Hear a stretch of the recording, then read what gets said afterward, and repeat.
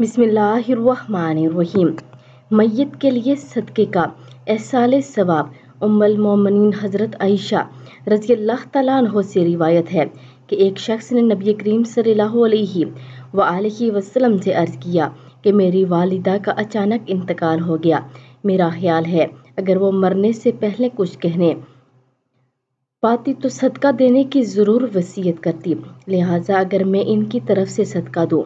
तो इन्हें इसका, यानी इस सदक़े का सवाब मिल जाएगा। तो आप सल्लल्लाहु अलैहि वसल्लम ने फरमाया हाँ उसे इस सदक़े का सवाब मिल जाएगा।